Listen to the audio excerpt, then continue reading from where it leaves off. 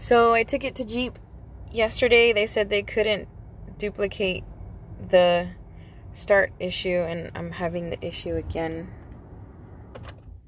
It doesn't start.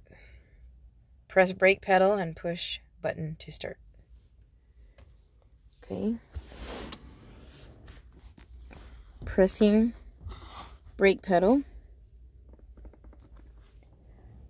Push button to start. Nothing.